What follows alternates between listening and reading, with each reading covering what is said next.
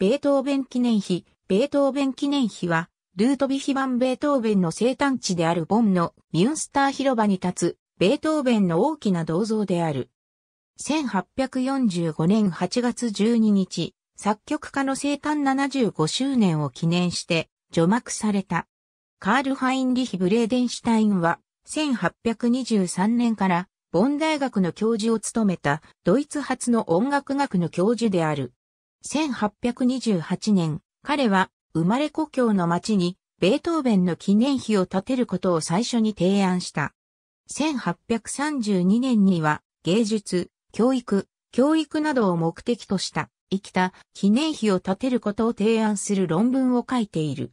それまでドイツやオーストリアでは偉大な文化人の像を建てることは一般的ではなかった。フリードリヒ・シラーは1839年まで待たなければならなかった。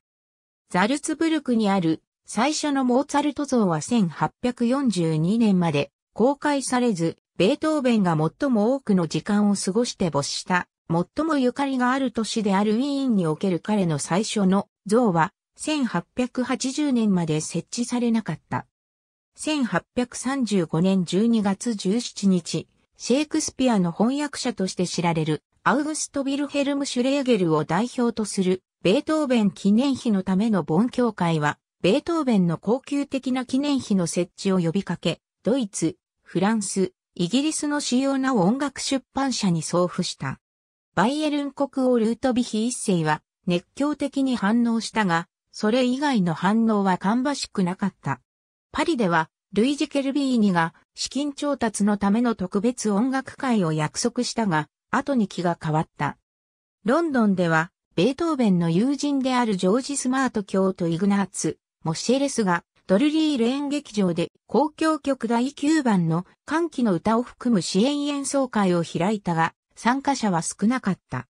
1839年10月、フランツ・リストはこの計画に参加したが、資金面での支援が不足していたために、計画の存続が危ぶまれていたことが明らかになった。それまでのフランスからの寄付は425フランに満たなかったが、リスト自身の個人的な寄付は1万フランを超えていた。彼はコンサートやリサイタルなどを精力的に行い、その収益は建設資金に充てられた。1841年4月25日と26日にパリのサルプレールとパリ音楽院で開催されたフレデリック・ショパンとの最後の共演になったピアノデュオコンサートもその一つである。リストが出した唯一の条件はベートーベン像の彫刻家はイタリア人のロレンツォ・バルトリーニでなければならないというものだった。入札が行われ、契約はドイツ人エルンスト・ヘイネルに落札された。鋳造はニュルンベルクのヤコブ・ダニエル・ブルクシミートが担当した。それまで作曲と家族との時間を過ごすために引退していたリストは、このために演奏会の舞台に戻り、除幕式のための特別な作品として、ボンのベートーベン記念碑除幕式のための祝祭カンタータ S67 を書いている。他の音楽家も早くから参加していた。ロベルト・シューマンは大ソナタを書き、金の飾りと黒の想定で出版し、その収益を建築資金に充てることを提案した。彼のベートーベン記念碑への昇降券、廃墟、トロフィー、手のひら、フロレスタンとエウセビオスによるベートーベン記念碑のためのピアノフォルテのための大ソナタはいくつかの名前の変更を受けた。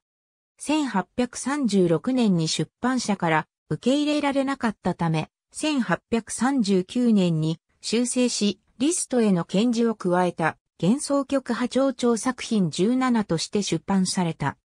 第一楽章では、ベートーベンの歌曲集、遥かなる恋人にの主題を暗示している可能性があるが、もしこれが本当ならば、父、フリードリヒビークの命令でパリで彼と離れ離れになっていたクララビークへの暗示でもある。1841年、フェリックス・メンデルスゾーンは、この計画のために二単調の変奏曲を書いた。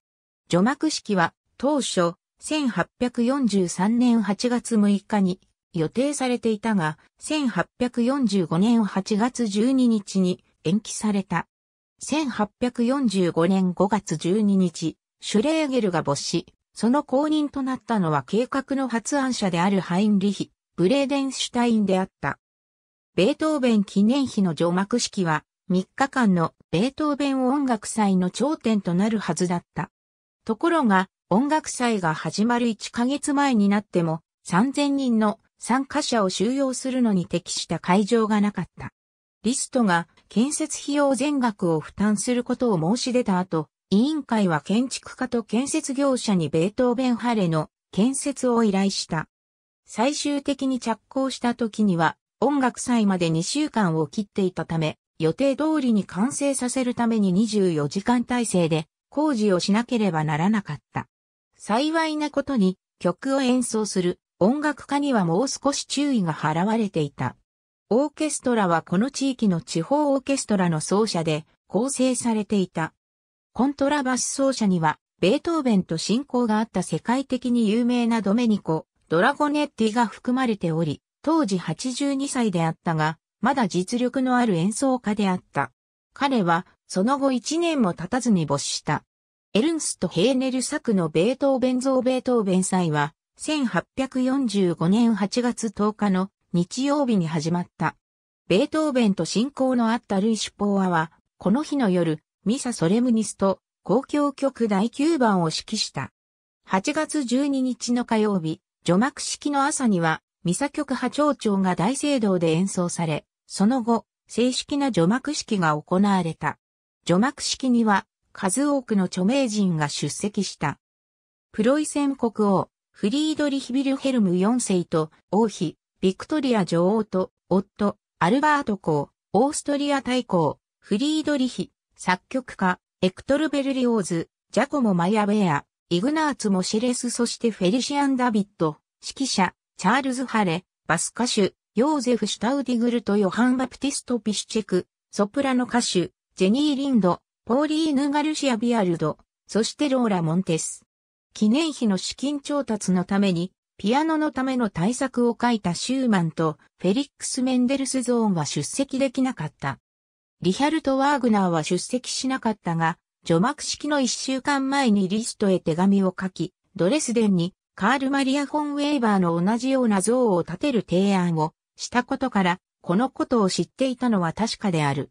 来場したすべての交換が署名した楊妃氏が記念碑の中の鉛の棺に封印された。これに続いて午後のコンサートが行われた。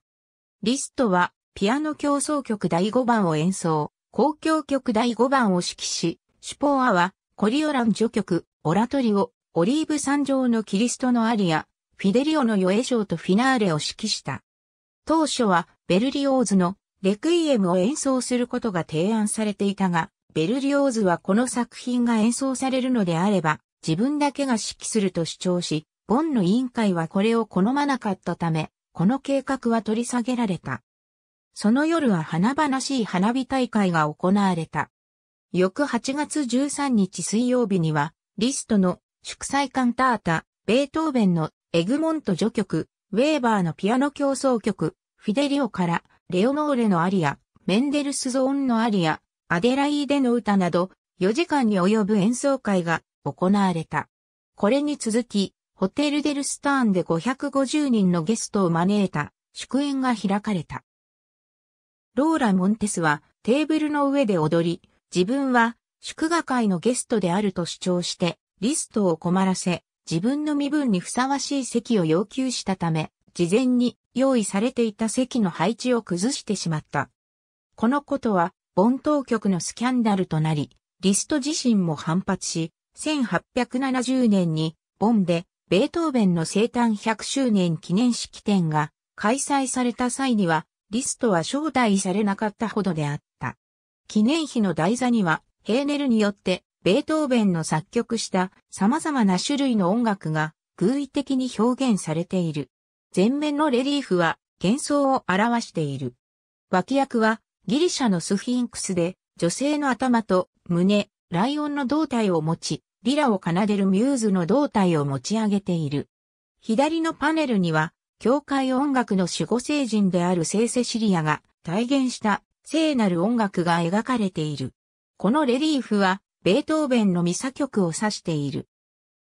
裏面のレリーフについては、これは公共曲を象徴しており、エロイカを意味している。中央には月桂樹の花をまとい、縦ごとを掲げる音楽芸術のミューズエウテルペイ。その周りに浮かんでいる4人の天才たちが、公共曲の4楽章の性格を特徴づけている。左上は、第一楽章のシンボルである剣を持ったプット。しかし、ベートーベンが最初に解放者として崇めたが後に、暴君と蔑んだ、ナポレオンの軍権ではなく、権力と人間性を切り離す、精神の剣である。左下は、第二楽章。少年が命の松明を下に向けると、蛇が致命的な噛みつきで彼の腕を抱きしめる。右上は第三楽章のスケルツを悲しみに打ち勝つと、微笑む天才は片手にカスタネットを持ち、もう一方では、豊穣と生命の喜びの象徴であるイタリア笠松でできたディオニューソスのトゥルソスを振っている。右下は第四楽章のアレグロモルト。天才は響き渡る陽気さと解放と歓喜の象徴であるトライアングルを振り回す。大座右側のレリーフは女性の姿で劇音楽を象徴している。ジョージ・スマートはこの像の顔の特徴をベートーベンによく似ていると評し、イグナーツもシェレスも同様にこの像をベートーベンによく似ていると評価した。しかし、ベートーベンの助手アントン・シンドラーはこの像を軽蔑していた。ありがとうございます。